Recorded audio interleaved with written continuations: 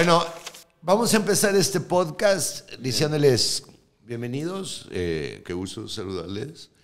Y hoy de qué se va a tratar, ahí rayas unos apuntes importantes, unas dinámicas y la chingada, deberías Vamos a tú hablar- súper preparado. Súper preparadísimo aquí con unas preguntas para... Voy a hacer uso de mi permiso de la Bien. Cofepris. Exacto.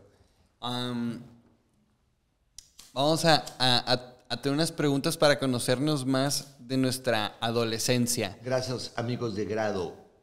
Grado punto global. Arroba grado punto global. ¿Eh? global. Sí. Punto global o punto co. No. A ver, Burgos. Eh. Bueno, ¿quieres tener bien el dato? Ya, global. Punto Sí, global. es. ah, es ¿Me están diciendo en el punto- chicharo? Grado punto global pues, son los que me tramitaron el permiso de Cofepris para poder transportar, si yo quiero traer en mi maleta o si quiero traer en mi, eh, ¿cómo se llama? Morral. Personal. Mi, perso- mi personal, ¿no? Que vendría siendo pues, unos tres, cuatro gallitos. Porque aunque la ley dice que te puedes traer tres gramos o cinco gramos, creo, finalmente, pues, la aplican. Entonces, Claro. ya con el permiso de Cofepris no dice la cantidad, no estipula cantidad, entonces podrías traer, si tú quisieras, hasta un kilo. Claro, demasiada pinche. Sí, nadie carga un kilo para algo personal. ¿como ¿Para qué? Claro. Pero si vas a ir a Cancún con tu morra y quieres llevarte unos tres gallitos o Un guatito cinco gallitos. decente para que para dure la todo el viaje. ¿Cómo fue el proceso de conseguir tu permiso? ¿Fue tardado? ¿Fue No es tedioso? tardado, tardó 10 meses en que me llegara el permiso de la COFEPRIS para poder de uso recreativo, recreativo, recreativo, uso recreativo y lúdico, lúdico. Deberíamos hacer este podcast con público, así con una grada atrás. Que se Es estén que reaccionando A a mí todo me cuesta esto. mucho trabajo. ¿Sabes? Luego me dicen, ¿por qué nunca hiciste doblajes?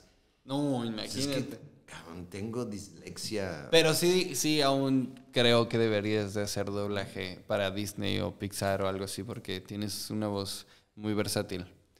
Bueno, el caso es que este podcast íbamos a hablar de unas dinámicas. De unas dinámicas de la adolescencia.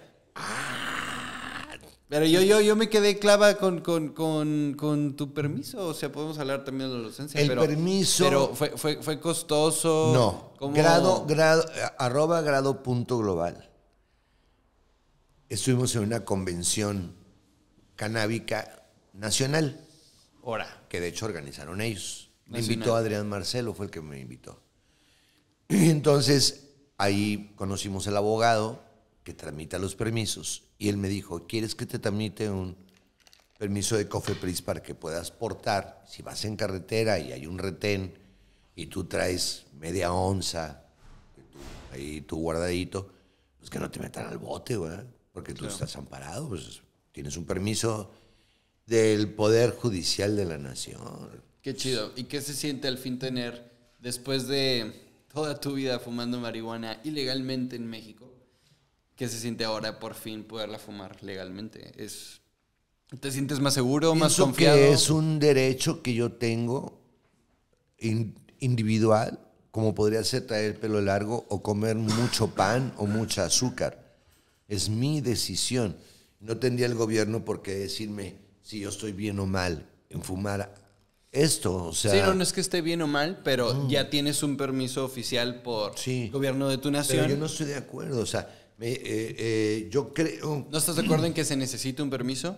No estoy de acuerdo con que se persiga a las personas por consumir el THC, porque no es lo mismo que otras drogas. La cocaína, eso sí es muy peligroso, muy adictivo, te mueres de un infarto, pero no hay nada que diga que haya alguien muerto por, por Marihuana. fumar. ajá. Aparte siento Y- que, que los por marihuanas fumar son como... eh, hierba, o sea, porque Claro. cigarros sí, tabaco Sí, sí. u otras cosas que Otras te cosas, puedes pero fumar. A, a lo que voy, que es mucho más mal, y hace mucho más daño el alcohol.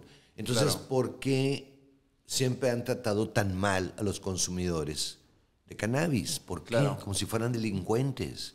Sí. Es más delincuente alguien que toma alcohol. ¿Sabes? Eh, Me, me choca que, por ejemplo, me tocó vivirlo en Ciudad de México, viviendo solo, manejando solo en la ciudad, que los polis eh, como que la- los marihuanos son presas fáciles.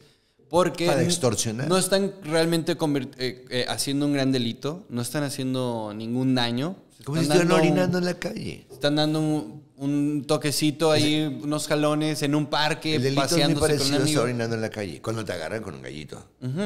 Pero al final no estás haciendo nada grave.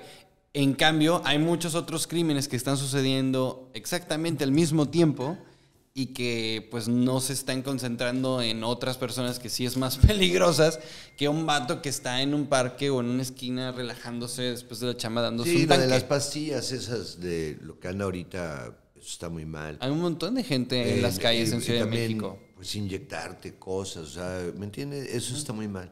Pero es un tema ¿Sabes? muy delicado. Eso, o sea. eso me gusta mucho de, de Estados Unidos, que allá se puede manejar, eh, se puede fumar marihuana. Pues en Uruguay no hay ningún problema y no ha pasado nada.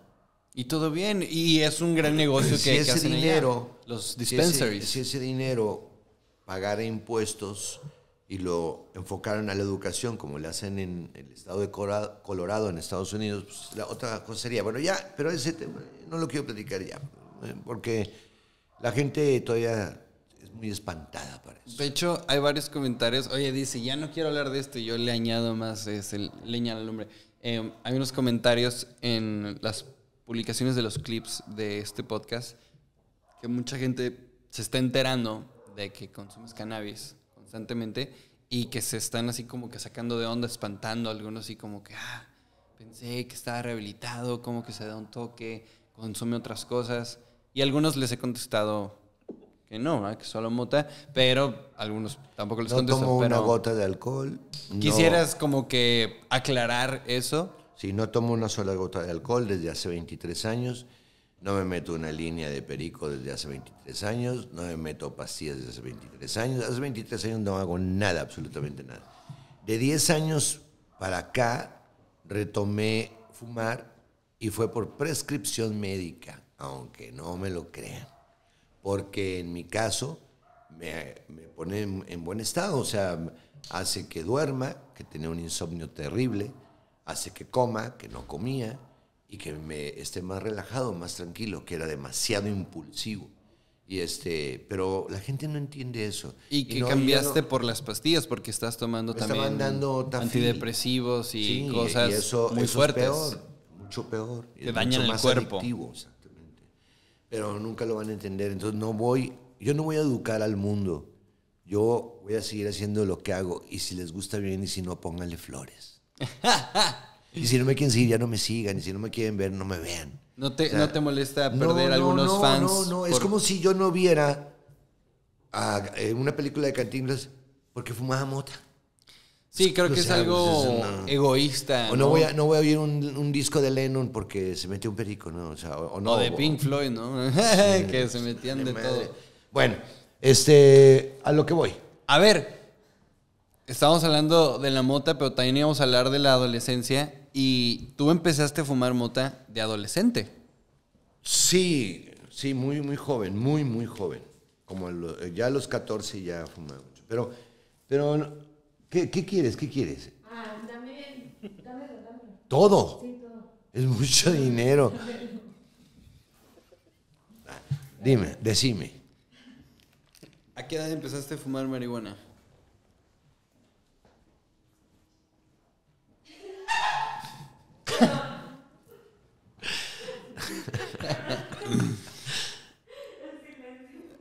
Súper incómodo el silencio. Sigo esperando una respuesta, señor A los Burgos. 12 años. En serio. Órale, exas. Pero ¿Cómo ya ah, como consumidor asiduo, como hasta los 14. Ah, bueno. Ya, ah, no, grande. no está tan mal. Sí, ya de grande, ya. Ya bien, maduro. bien Pacheco como a los 16. De que ya siempre tenía mi guardadito. Órale. Sí, fue, fue gradual. A mí Pero también fue es gradual. que se espantan. La gente se espanta con la cannabis. Sí. Mucho, güey. Puedes tener un vato que es bien pedote, güey, y la ha cagado un millón de veces con su pinche alcohol y me critica a mí porque fumo. Sí, sí, sí, sí. Tengo un amigo en Los Ángeles que cuando toma eh, no sabe ver la línea, ¿no? De hasta aquí. Y entonces comúnmente cruza la línea y ahí la anda cagando y haciendo el ridículo y peleándose y etcétera. Pero cuando nomás fuma, anda bien a gusto. Igual es más relax, ¿no? Menos eufórico, estás más relajado, pero, pero no, no, la anda cagando. no dice pendejadas, no lo ves. eh, cuando está tomado, no le reconoces los ojos, como que él es otro. Se, se, se le voltea el switch, se transforma. mi manager me dice. Me dice, este, ¿tú crees que pueda afectar que tú seas tan abierto y tan, ahora sí que honesto, ¿no? Al decir abiertamente que pues sí que sí fumas, ¿cuál es el pedo? Que no te metes nada, ni tomas alcohol ni nada, pero, pero sí que fumas. ¿No crees que te pueda perjudicar? Porque pues finalmente damos conferencias. Digo, mira, yo no soy conferencista, no soy psiquiatra, no soy de esos, ¿cómo se llama? Motivador. Tampoco soy psicólogo. Coach, no. Terapeuta. No. Soy un hombre que le han pasado muchas cosas y que va a un auditorio, ya sea de una escuela, una facultad, una preparatoria o un teatro de una ciudad, a platicar mi experiencia. Si te puede servir lo que yo te cuento para que no te pase lo mismo, qué chido. Pero yo no soy un ejemplo de vida para nadie. Para nadie. O sea, mi vida no es un ejemplo de vida. Un hombre que cayó en las drogas, un hombre que cayó en el alcohol, un hombre que tiene cuatro divorcios, un hombre que, ha tenido muchos errores. ¿Cómo puedo ser yo un ejemplo de persona? Lo que sí puedo hacer y dejarles muy claro es que, es que solo aquella persona que estuvo en el infierno puede decir cómo es el infierno, nada más. Entonces yo fui al infierno y vengo y les digo cómo está el pedo. Si me quieren escuchar bien. Claro. Y si no, pues pónganle flores, como siempre digo. Claro. Y digo, dices como, eh, no eres una, tu vida no es como de ejemplo, pero creo que eso es como generalizar de más, ¿no? Porque al final, aunque tuviste tus épocas de pedote y de fiesta durante muchos años, De muy y heavy, la y de todos tus amigos eras de los más cabrones, Más reventado. Pero eras trabajador, eras responsable, eras creativo, ¿no? Al final no todo estaba mal. Y creo que donde más la gente te pone como ejemplo, que quizás por eso también ahora que saben que fumas mota, les da como ese, ¿no? Porque te tenían en un concepto de muy limpio y todo. Eh, pero de ahí también viene ese parteaguas de que te volviste un gran ejemplo, aparte de que te limpiaste, de recuperación, de, de- de rehabilitación, perdón. Que me metí a hacer ejercicio. Que haces cañón, ejercicio, que que competí en físico-constructivismo después Sí, de haberme empezaste a rehabilitado. hacer los eventos a beneficio. Pero yo sigo entrenando y sigo estando No, bien. sí, sí, sí. Sí, no, no, no, no digo que la moto te haya afectado en eso, pero digo que de ahí es donde la gente como que te, te pone Ah, en entonces un no está estándar o en un pedestal, ¿sabes? Entonces no está limpio, es Entonces, mentira. su vida se derrumbó de nuevo. Cayó en las drogas, lo ha perdido todo. No, se ha perdido a sí mismo. No, no es así. Ahora, por otro lado, déjame decirte que Déjame decirte jamás, una cosa. jamás, jamás recomendaría a un joven que hiciera lo que yo he hecho. Nunca. Al contrario. Sí, para digo, eso, no es, lo para eso es la conferencia, ¿no? Para, Exactamente. Para que es, Y luego vean me cómo está el rollo, cómo, se puede poner o sea, la en- cosa. En la- una de las conferencias que di para una prepa, me llamó mucho la atención porque uno de los chavos me dijo, es que yo también quisiera ser como usted porque usted es dueño de negocios, tiene los bares de comedia de la casa de Oscar Burgos. Pero, pero no, es, no es lo mismo porque yo no vengo de una situación acomodada. Mis papás no tienen dinero, yo no tengo cómo poner un negocio. Le dije, espérame, espérame, espérame. Yo tampoco tenía ni un 5, ni un 5. O sea, yo me acababa de salir de un lugar eh, donde había trabajado toda mi vida y, este, y no me dieron una compensación económica por haber salido, ¿no es cierto? O sea, tenía 14 años en el Unicornio Azul, el Unicornio Azul no me dijo, ah, te vamos a pagar un, un millón y medio de pesos porque ya no vas a trabajar aquí. No, me salí sin ni un 5. Yo hice un proyecto de comedia, La Casa de Oscar Burgos. Primero empecé con mi amigo Chavo con Merequetengue, ¿no? Que ahí fue una práctica para mí, para ver cómo se manejaba este negocio. A la hora que yo veo, eh, y que ya Chago y yo, que seguimos siendo amigos, le digo, ¿sabes que Yo voy a hacer mi negocio y te quedas con Merequetengue. Ah, tan amigos como siempre. Cada quien por su lado.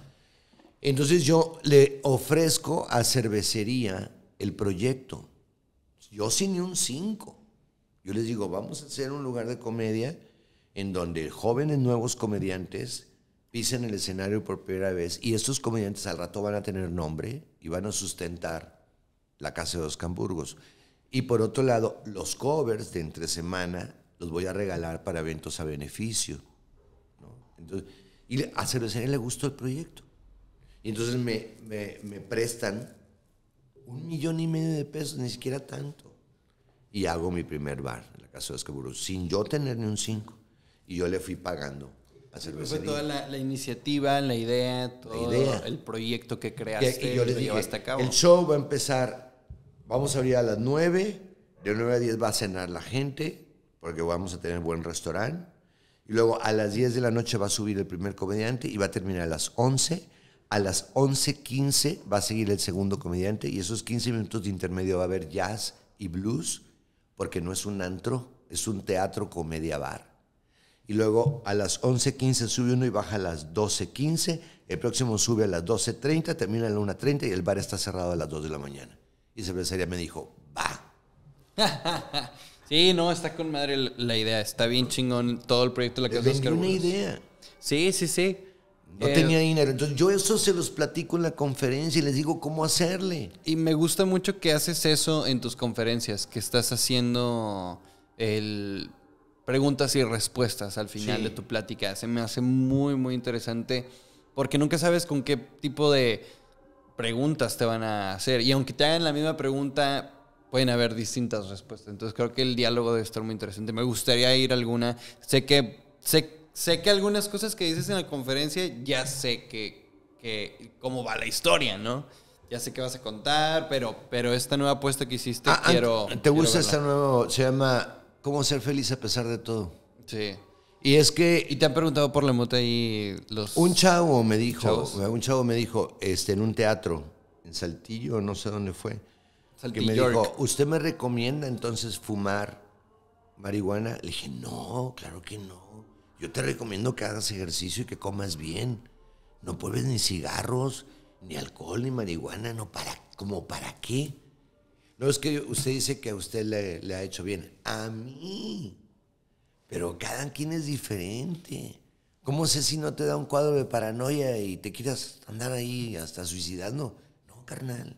No. O sea, no voy a llevar yo un mal ejemplo a una conferencia. Sí, no, no, no, no es de que vas a andar de, No, de promotor. de promotor del cannabis en No, tus no, tratando de volver a todos marihuanos. Pero- pero De lo- aquí todos van a salir bien No, marihuanos no, de esta no, conferencia. Claro que no, claro que no. Y por otro lado... Por y vamos lado- a hacer hotbox aquí en el teatro porque mira, no, y- pum. no, no, no. Y por otro lado, la, el- cuando yo hago esa conferencia, mi conferencia dura 40, 45 minutos de una plática que yo les doy de como unas experiencias mías, ¿no? Y, y luego, este, otros 45 minutos son de preguntas y respuestas, que esa es la, parte que más me gusta. Yo le dije al director de una prepa, le dije, ahí en tu salón, en, en este teatro, hay 200 muchachos. Aquí hay más de, más de 30 que ya se quisieron suicidar una vez. Dijo, no, es muy alto el índice. Vas a ver. Total, ya empiezo la conferencia y les platico acerca de las bromas o los engaños que te juega tu cerebro cuando estás muy joven. Que haces una tragedia de cualquier cosa. Sacaste malas calificaciones y te quieres suicidar. Te cortó tu novia y te quieres suicidar. Te regañó tu papá y te quieres suicidar. Pero es porque el cerebro todavía no está bien formado. No estás maduro. ¿no? Y hay ciertos químicos que en la adolescencia te juegan malas jugadas. Entonces, este, no debes escuchar esa voz y debes de pensar en tus proyectos. Los proyectos son los que nos hacen tener vida, tener ilusiones. La esperanza es un adelanto de la felicidad. Entonces, todo eso que yo les platico a los muchachos y luego les digo, díganme aquí, alce la mano, En silencio sus celulares, por favor. es, de, es Alejandro Lora, güey. ¡Ay! ¿Quieres contestarle aquí? Como que no es el lugar rápido, más prudente no, para... no. Termino este podcast en unos 15 minutos y te marco. Eh, ¿Me permite? Gracias. Un abrazo, gracias. Este, chido, ¿verdad? Bueno, va, eh, eso, se cree. Eh, A huevo. ¿Qué te iba a decir? Ah, ¿verdad? Em, Ah, entonces le digo, este, en, en la conferencia, en, en ese salón de 200 muchachos, le digo, díganme, alcen la mano cuántos de ustedes han pensado en suicidarse.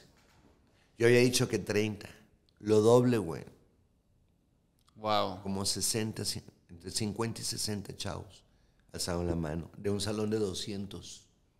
Ah, su madre. Entonces sí es bien importante que les lleves un mensaje y que les digas que hay una esperanza, ¿no? Porque a esa edad crees que se te cerraron las puertas y que vas a ser infeliz toda tu vida, cabrón. O sea, sí. ya haces tragedias. Sí, sí, sí. ¿Entiendes? Eh, Pero es ese- como parte de la inmadurez. yo pasé ¿no? por ahí. Les cuento cómo fue que yo me intenté suicidar. Y lo decidí en un segundo, Burgos. Oye, y ahorita que estás dando esas conferencias, ¿cómo es la diferencia? ¿Cómo, ¿Cómo te sientes tú? ¿Cómo es la emoción, los nervios antes de subirse al escenario?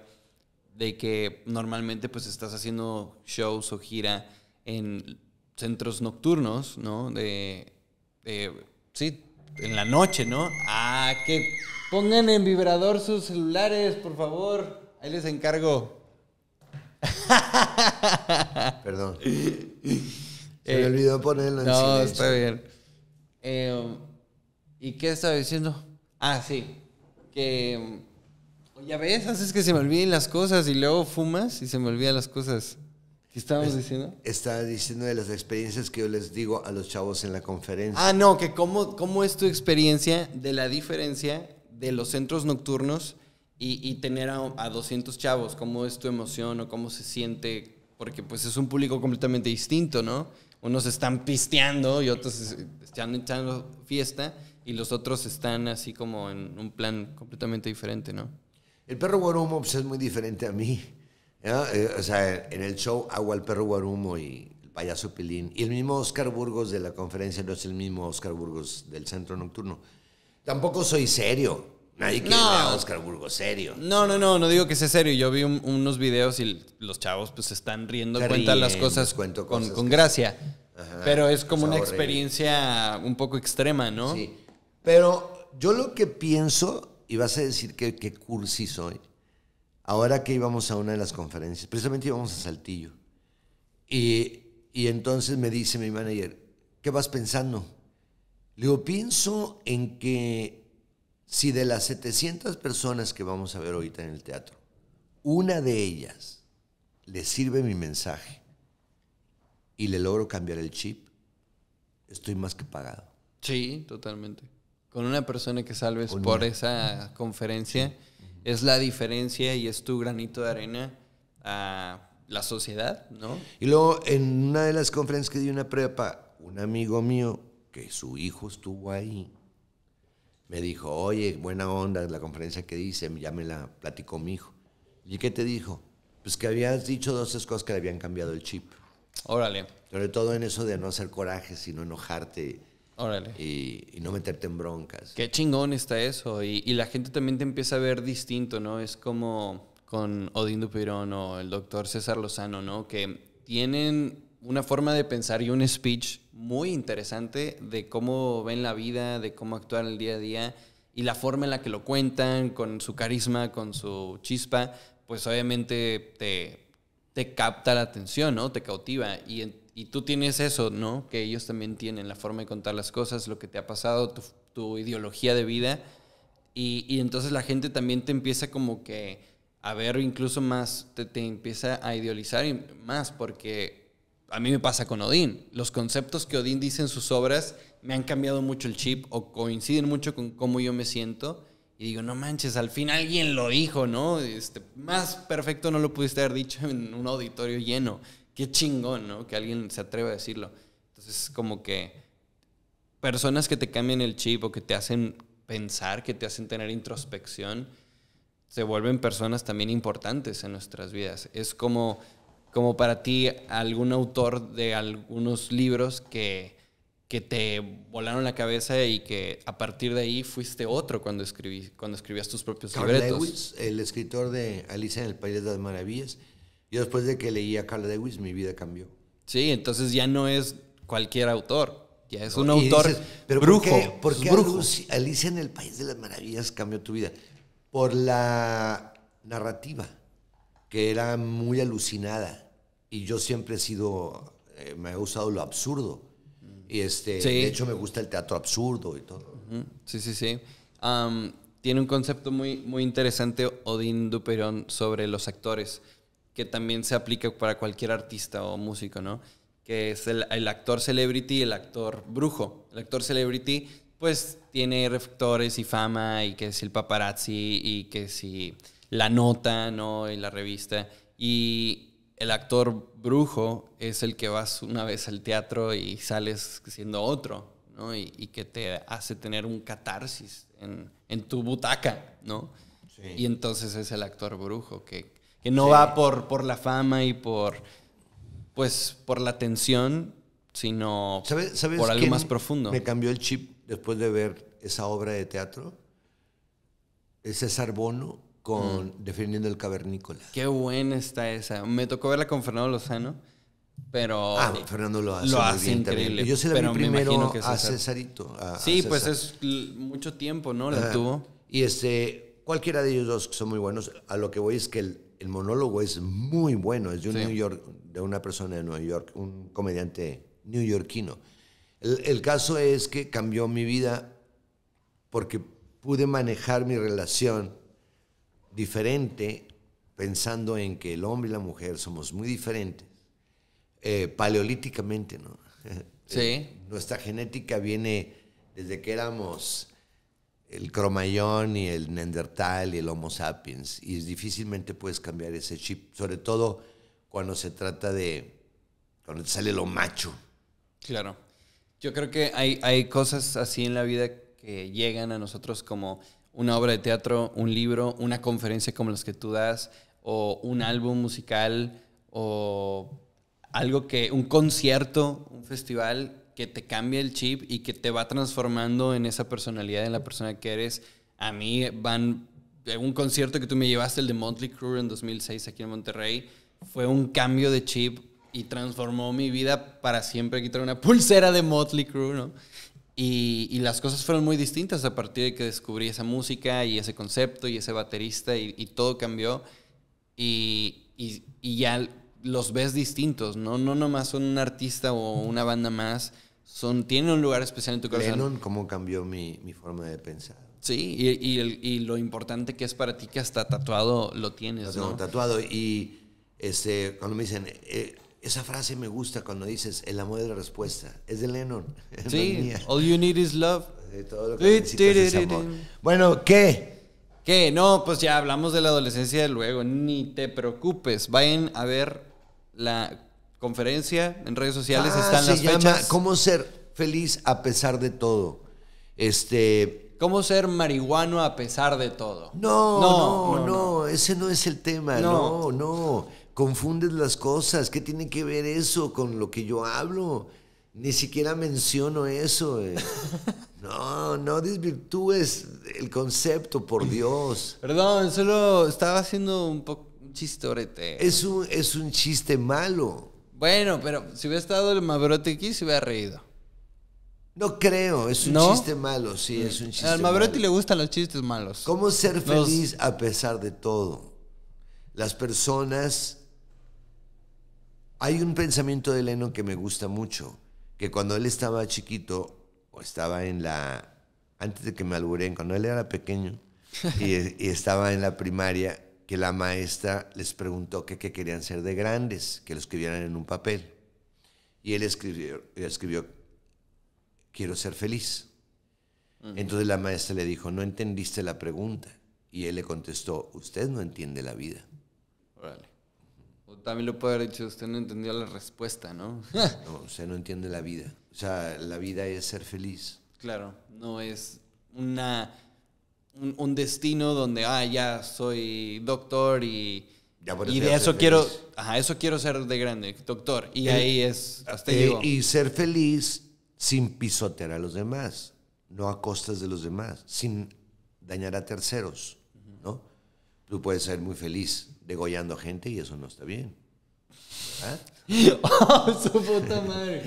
Como que no lo veía venir. Sí, fue así de, ay, órale, ok, no. Porque pues no, mientras mien- eh, yo, a mí déjeme, yo soy feliz de esta manera. Ah, tampoco. Acá, ps, ps, ps, No, no puedes ser feliz Pues- haciéndole cosas a niños, ¿verdad? O no te puedes sentir tu muy felicidad- orgullosamente tu, feliz. Tu felicidad hace tristes a otros. No, sé feliz con alguien, algo que no afectes a los demás. Entonces, si yo fumo o no fumo, eso no le afecta a nadie. Y, se- y ser feliz comúnmente. Con, con todos. ¿no? Es bien fácil ser feliz. No tienes que ser ni cínico ni que se vale todo. Solo tienes que echarle un poquito de cabeza, de inteligencia y entender, ver las cosas desde afuera y no allá adentro, no en medio del remolino. Tienes que salirte y verlo como si fueras otra persona. The big picture. Así la, la, la, la foto grande, ¿no? Salirte de, de la caja. Pues sí, es buen consejo para, para ser feliz y hacer ejercicio, oxigenarnos. No comer veneno esperando que los demás se mueran. Eso no funciona. Sí, no, y, y totalmente lo que decimos tiene una energía y, y vibramos y, y si traes mala onda dentro de ti se refleja y es como cuando conoces a alguien y por alguna razón desde que lo saludas como que no te cae bien, no, su, su vibra, su energía no, no resuena con, con la tuya, no hay esa, ese clic y, y se nota, ¿no? Lo que traemos adentro lo, lo exponemos afuera siempre. Pero también hay que quitarse prejuicios. No, aquel que dice, ese güey me cae gordo, porque no sé, cabrón, me cae mal. Sí, no, no lo, conoces. güey. Claro. Ese prejuicio, yo sí lo conozco, es a toda madre, no mames. Es que llega Sí. aquí y no saluda a nadie. Pues porque no conoce a nadie, güey. Claro. Me pasó con, ¿sabes? Con, con Fernando Lozano. Porque él llegó al mi- mismo gimnasio donde yo estaba. Y este, y se va, ¿no? Entre- platicamos un ratito, ¿no? se fue. Y llega un cuate y me dice, mamón ese güey, ¿verdad?". ¿por qué? Mamón. Aquí llega y no saluda a nadie. Pues porque no los conoce, güey. A mí llegó y me saludó de volada, ¿no? No, pues que tú eres su camarada. Pues sí, güey. Exacto. Porque va a llegar, no porque es persona pública, va a llegar. Buenas, buenas, buenas. Ah, ya llegué. Güey, viene a entrenar. Sí, sí, sí. viene. Prejuicios. Claro. Sí, sí, sí. Pero sí, a lo que me refería es como que se nota lo que uno trae dentro también, ¿no? Se, Sí, se ve en, en la cara, en los ojos, en la sonrisa. Como se dice esa frase célebre, pensada mas no dicha por Confucio en alguna ocasión. La caca flota. la mierda siempre sale a flote, totalmente. Muy bien. Y los Entonces, centenarios se van para el fondo. y una mentira lleva a otra mentira. Y, Y se hace una bola grande. y las putas siempre traen problemas. Más es frases. verdad. Son mis frases. Más frases. Muy bien. Si Tengo que me- armarme ya las, las Si me playeras. metes gente, lo que me cobres es poco. Si no metes gente, lo que me cobres es caro. Ah, esa está buena, ¿eh? Esa, esa hace mucho no la decías. Esa está buena. Pero eh, pues claro que se lo tengo que decir a los comediantes que me quieren Pues sí. cobrar caro. Ah, pues sí. Si la tienes que. Bueno, yo no la había escuchado, aplicar, pero sí la tienes que aplicar. aplicar. Pues sí, Ajá. no, está bueno. está Méteme gente y te pago lo que quieras, cabrón. no metes nadie, pues lo que me cobres. Lo que me cobres es caro. es caro. Bueno, muy bien. Pues luego hablamos de lo que otro que íbamos a hablar. ¿no? Empezamos a hablar del, de la marihuana y la conferencia y la vida y ser feliz. Y qué chingón podernos desviar completamente de lo que íbamos a hablar y que salieron otros temas bien chingones. Y finalizamos diciendo, Oscar Burgos no es marihuano, es canábico. Para que sepan. Ah, también vamos a hacer una de esas. Who the fuck is Oscar Burgos? Y Oscar Burgos no es marihuano, es canábico activo. La otra es Elvis no murió, solo fue a casa. A los vídeos ya me cayó gordo este güey. ¡Oh!